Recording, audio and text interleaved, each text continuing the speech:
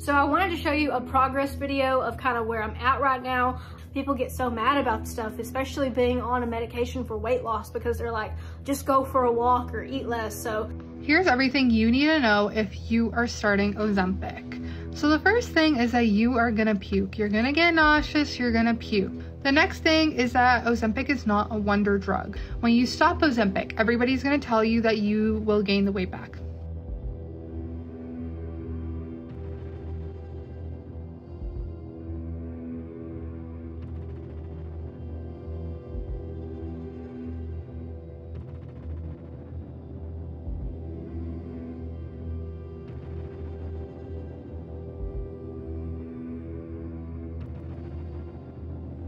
Getting magical weight loss results is kind of a fantasy, right? Like, with proper diet and exercise, many people can lose weight, but it's not something that just magically disappears overnight.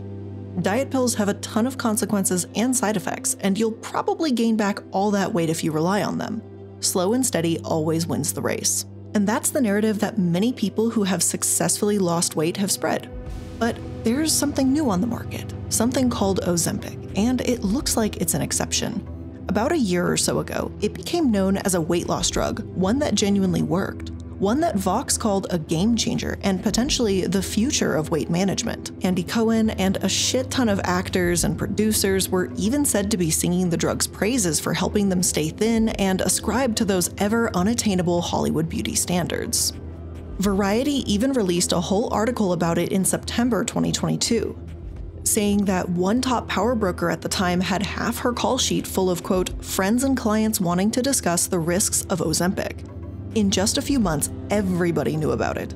Celebrities, hair and makeup teams, producers, directors, literally anyone you could think of.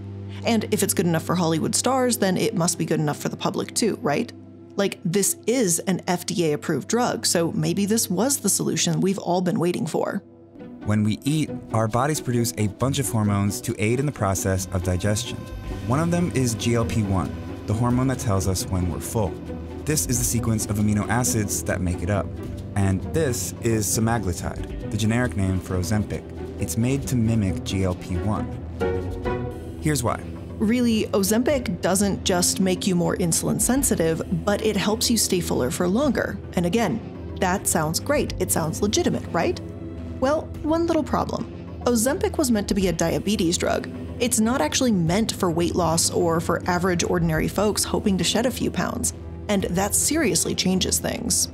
Ozempic is the latest get thin quick drug that's doing the rounds on social media, but it's already causing a lot of problems. First of all, Ozempic isn't a weight loss drug, it's a diabetes drug that regulates blood sugar and insulin, which happens to also make people feel full faster, causing them to lose weight quickly. And because celebrities and now ordinary people have cottoned on to this, there's now a worldwide shortage. The irony is, people who have taken Ozempic for weight loss are already having regrets. I feel like it's it should be obvious at least that we shouldn't be using medicine for anything other than its intended purpose. Unfortunately, a lot of people were about to find that out the hard way, and there were even more consequences in store for the people that did need Ozempic and found themselves in the midst of a national shortage.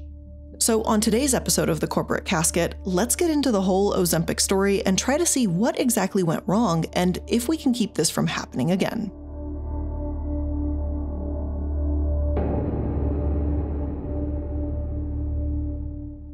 Even though stories about Ozempic blew up about a year ish ago, this medication was approved to treat diabetes all the way back in 2017.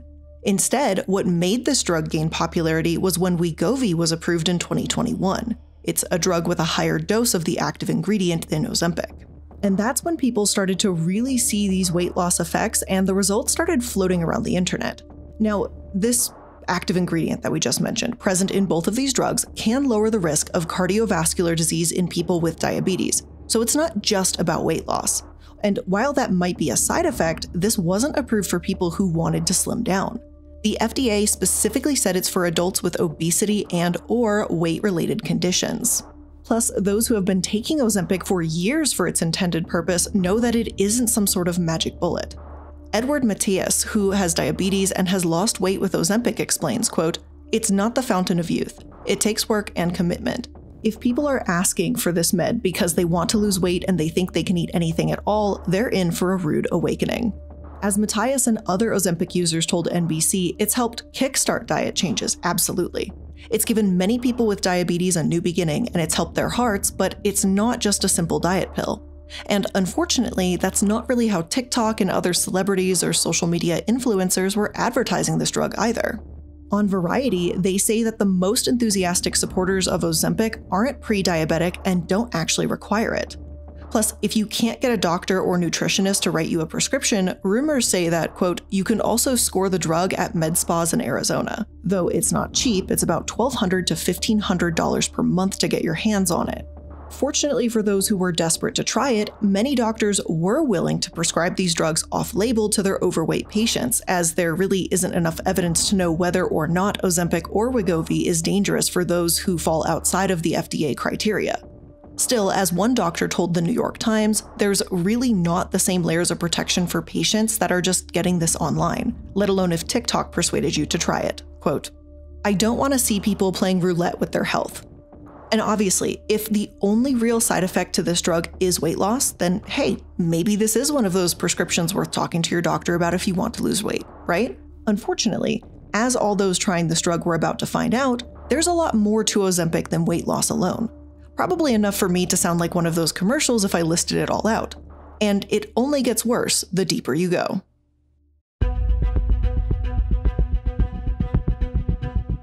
Nausea and hydration might not sound like a big deal at first. A Tums and some water could fix that, right? However, the side effects of Ozempic can actually be pretty severe. People may need to go to the ER, and in rare cases, patients can get pancreatitis, gallstones, or even become malnourished. Quote, Doctors typically start patients on a lower dose of medications like Ozempic and Wegovy and then gradually build up to minimize these side effects, Dr. Gabbay said. And while I would like to hope that doctors don't prescribe Ozempic in high doses, if anyone was getting this from a spa or grossly uninformed about the consequences, then it's not all that hard to believe that people may not have been taking this exactly as needed. Or that people were getting hurt because they were so determined to lose weight that they forgot about the other possible side effects. Plus, as diabetic patients genuinely need this drug to help their heart, they may be taking Ozempic in the long term, like for years.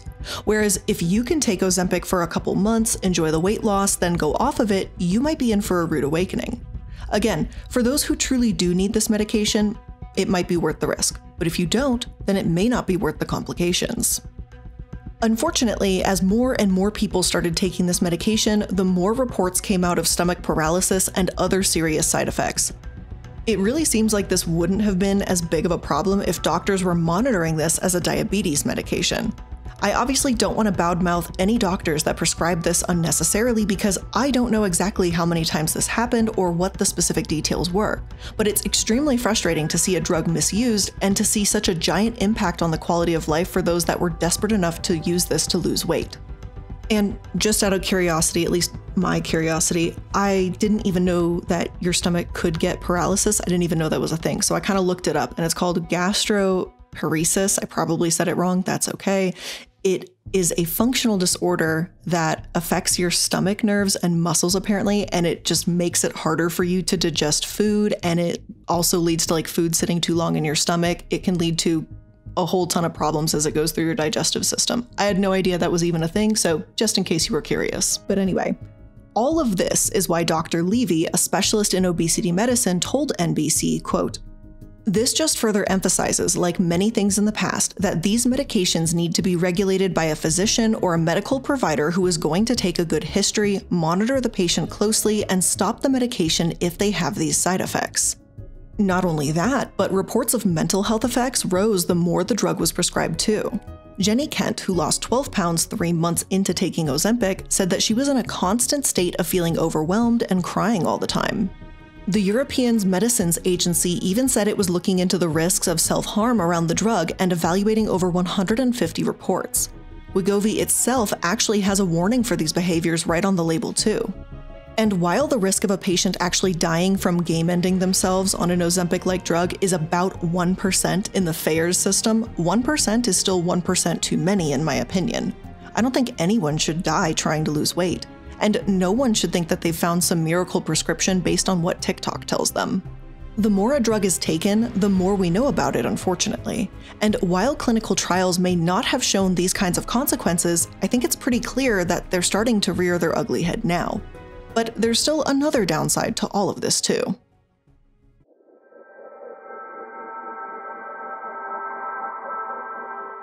Thousands of people suddenly taking Ozempic can hurt the people who have been on it for years. And it did create a giant shortage, one that's actually still going on as I'm recording this. As of November this year, 2023, Novo Nordisk, the maker of Ozempic, had to ration starter kits. And without a doubt, this is one of the things that I think I find the most infuriating about this whole ordeal. Like, there are people who have been taking Ozempic for years who want it to help their heart, but they're struggling to get it because celebrities want to try it to shed a couple pounds. I know I'm simplifying things a lot here, but it's so frustrating to see wealthy people scramble to get their hands on a drug that others need because of vanity. You people don't need it. Us, the diabetics, we need it. We need it to stay alive. Anthony hasn't been able to get his Ozempic since October. He says even similar drugs are now sold out. It's scary, honestly. It, it, it's it's scary because you know it, it could cause me to have a spike and I could have a, a, heart attack. And unfortunately, like with so many others here in the US, minority populations suffer the most whenever something bad happens. And in this case, the Ozempic shortage had a disproportionate impact on the indigenous population. Since early fall this year, Indigenous people in the Northwest Territories of Canada have had a hard time getting Ozempic for their type 2 diabetes. Novo Nordisk told Health Canada the shortage would continue until the second quarter of 2024, leading to some patients rationing what they have and ending up on waitlists. Doctors were asked not to put new patients on Ozempic too so the supply could recover and to recommend alternatives. Of course, as many other territories did the same, even the alternatives have started to run short on supply. Dr. Stewart Harris, the diabetes chair at the University of Western Ontario's medical school, who has worked with remote Indigenous communities, spoke to CBC. Quote, Harris said there's good evidence the drug can prevent the slow and silent but deadly complications of diabetes. That's especially important for Indigenous diabetics who are more likely to develop complications at a younger age, especially kidney disease. It's well documented that Ozempic improves blood sugar control, Harris said, which reduces the risk of diabetic complications, including blindness and amputations. Basically, Harris and other doctors like him have said that it's very clear these drugs help people with type 2 diabetes, especially young Indigenous people in remote locations. It can prevent heart attack, stroke, reduce the risk of other lifelong sicknesses, but celebrities are taking it so they just don't feel hungry anymore. And again, yeah, not all celebrities are doing this, but the attitude around this drug has been really lax considering the real world complications that are like occurring. Tabloids have accused Oprah of saying those that use Ozempic for weight loss are taking the easy way out. Entertainment magazines and articles have speculated who's on it and who's lying, and I've literally lost track of how many headlines that have said that Ozempic is taking over Hollywood. I support those like Julia Fox, who say she would never take the drug because diabetics need it. I think that's totally groovy. But the outlets that feature her statement alongside other celebrities who say it's like a vitamin need to seriously reconsider what narrative they're trying to push here. Those statements aren't equal, and I'm pretty sure if you told a diabetic using Ozempic that the drug was just a vitamin, they'd probably laugh in your face. Or punch you. I don't know. Thankfully, as of now, I haven't seen any studies or news articles say that someone has died because they weren't able to get their hands on Ozempic. But that doesn't mean that this shortage hasn't had consequences. But the consequences themselves are still difficult to measure. As this shortage has continued, there have been fake and deadly Ozempic drugs on the market. We found these ads offering a so called generic version of Ozempic with the key ingredient called semaglutide. We see semaglutide via Etsy. That's a problem. On Etsy? Um, That's right. It's even on the arts and crafts site Etsy. And look what it says there not for human consumption. And yet, it's sold out. CBS reported in early November 2023 that the FDA has had to look into these counterfeits, some of which mention Ozempic by name, others just mentioning semaglutide, the active ingredient. The British FDA also seized hundreds of potentially fake Ozempic pens since January as the drug rose in popularity for weight loss. Of course, hearing that, you might think that this is just some shady black market shenanigans for weight loss, and as long as you're careful in buying from a pharmacy, you're fine. But alarmingly, that's not actually the case. Health authorities across the country warning about fake Ozempic after a counterfeit injector pen was found on the shelves of a U.S. pharmacy. The FDA is now investigating the trafficking of counterfeit Ozempic. Our Paul LaGrone takes a deeper look at the, fight, the fast rise of Ozempic in America and the knockoffs with potentially deadly consequences. These have been found in retail pharmacies too, not just on Facebook or in other black markets, so to speak. And this is pretty horrifying. Imagine if you're one of those people that does have type 2 diabetes. You're struggling to get your hands on Ozempic or any of the alternatives, but you see some for sale near you and you go for it, only to end up hospitalized. Or maybe you don't have diabetes, but you're one of those people desperate to lose weight and going along with what all your favorite celebrities and influencers are doing. Seriously, this is a diabetes medication that shouldn't be messed around with or taken lightly. Even generic versions of Ozempic need to be FDA approved, and the so called generic versions bouncing around the internet simply are not that. By now, maybe, hopefully, I've convinced you that Ozempic is maybe not right for you unless you need it for diabetes reasons most certainly not for you if you're trying to just lose a couple pounds before or after the holidays. But then, if Ozempic is such a bad idea, how did it get to be so huge? And what has Novo Nordisk done to stop this? Well, that's what we're going to discuss right after a quick word from today's sponsor. Give yourself the gift of insane savings this holiday season with Mint Mobile's best wireless deal of the year.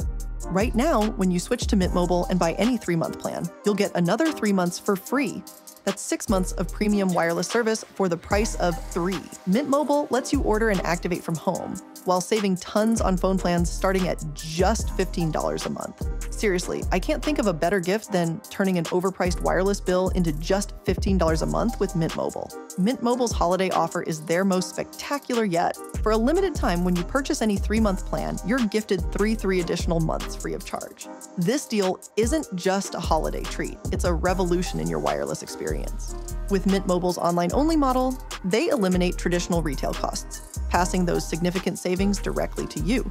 It's their way of wrapping up the savings and placing them under your tree. Every plan Mint Mobile offers includes unlimited talk and text, plus high speed data delivered on the nation's largest 5G network.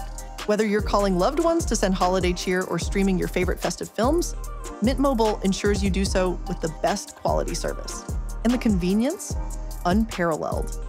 Use your own phone with any Mint Mobile plan and switch effortlessly with eSIM technology. But wait, there's more. If you're in the market for a new device, Mint Mobile has you covered there too.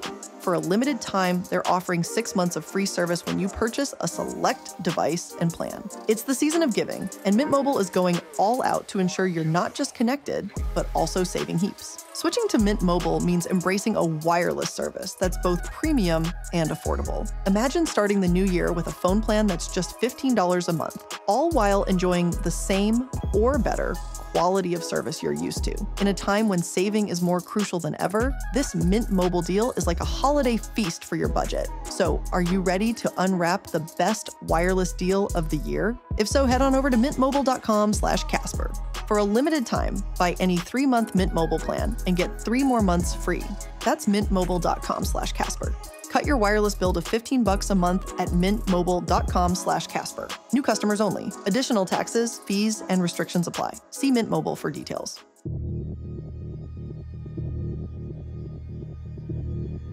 When a drug goes viral, there are a few people to blame. Healthcare professionals should have never written so many Ozempic prescriptions to those that don't have diabetes. Many drugs require a prior authorization process, and clearly, this is something that can and should be done for Ozempic. Anyone thinking of taking this drug needs to do proper research, even though that's clearly asking a lot from patients who are unwilling to consider the consequences of their actions. But the company that makes these drugs also has a responsibility to market them accurately and list off those side effects in an auctioneer voice at the end of their commercials. Novo Nordisk has been accused of failing to do the latter, compounding the existing issues around Ozempic. One Louisiana woman sued the drug company, with Reuters explaining Bjorklund said that while taking the drug for type 2 diabetes, she developed gastroparesis, a slowdown in the emptying of the stomach into the small intestine that led to her vomiting and pain. That sounds horrific. And Bjorklund wasn't a random woman that bought this off Facebook to look better in a bikini. She's someone that took this for its intended purpose and still faced these severe consequences that she alleges Novo didn't properly warn her about. This is why we really shouldn't consider Ozempic or anything else like it a miracle cure. There's always a catch. There's always a reason to be skeptical and careful. Novo, on the other hand, has attempted to dismiss this suit, stating that they extensively list the potential side effects on their label. But this case, as well as several others like it, say that Novo is at the very least responsible for downplaying the possible severity. To my understanding, a lot of these side effects also happen during dose escalation. So, while Ozempic may seem right for you at first, it can have the potential to cause harm later on. One of these possible harms is known as Ozempic face, in which the skin on your face can age and sag, an effect of rapid weight loss, basically. With Ozempic, it can be a bit more pronounced, which is probably the last thing the celebrities taking this actually want. Some doctors have given facelifts and other treatments to counteract this too.